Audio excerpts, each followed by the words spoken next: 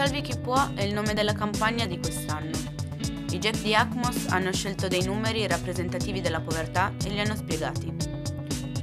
Le categorie sono povertà di relazioni, povertà culturale, povertà materiale e povertà di futuro. 3,54 euro è la quota pro capite destinata alle attività e agli interventi per l'infanzia e l'adolescenza per il 2013. Risorse così scarse riducono le alternative per il tempo libero dei giovani, i quali perdono l'opportunità di incontrare esperienze stimolanti che mettono in discussione il loro punto di vista. 2 milioni, il numero di quelli che vengono considerati la generazione NIT, i giovani italiani tra i 15 e i 29 anni che non studiano né lavorano, né si preparano a farlo.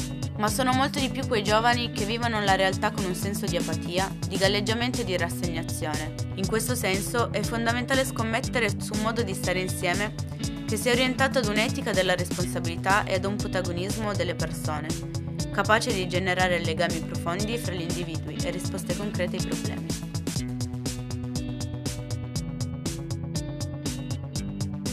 L'80% è la percentuale della popolazione adulta italiana che non possiede strumenti minimi indispensabili di lettura, struttura e calcolo.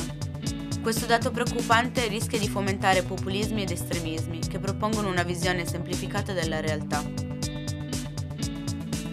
Il 10,3% è la percentuale di italiani che non possiede nemmeno un libro in casa. La cultura potrebbe essere una delle risorse possibili per uscire dalle situazioni di povertà di futuro. Purtroppo però sempre meno persone scommettono sul capitale culturale. I provvedimenti esecutivi di rilascio di immobili ad uso abitativo emessi nel 2012 ammontano in totale a 67.790, con un aumento rispetto all'anno precedente del 6,2%. Gli sfratti per morosità o altra causa rappresentano l'83,9% del totale. Con il perdurare della crisi economica ed occupazionale continuano ad aumentare. Quali sono le risposte che lo Stato è in grado di dare a questo problema?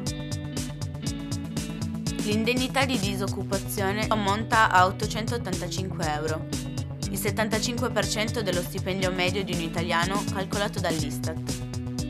I ragazzi del Subject guadagnano in media 500 euro.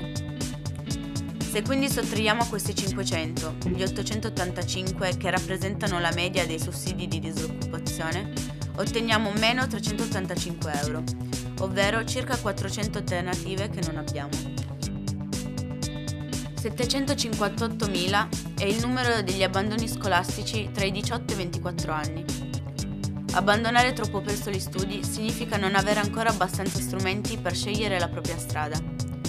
Significa vivere in una situazione di accettazione passiva del presente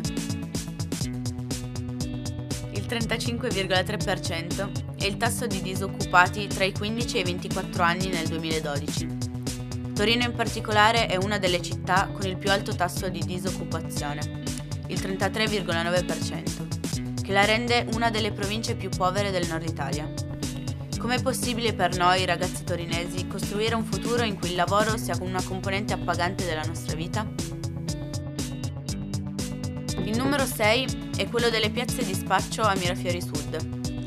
In contrapposizione a questo c'è il numero 1, il solo centro giovanile del quartiere, che oltretutto non si occupa più di aggregazione ed educazione territoriale per mancanza di risorse. La povertà di futuro può avere anche forti connotazioni legate all'ambiente. Il 100% è la percentuale di lavoro che l'industria del riciclaggio genererebbe rispetto alla gestione delle discariche o degli inceneritori. Eppure la politica spesso osserva con sguardo miope questo tipo di questioni.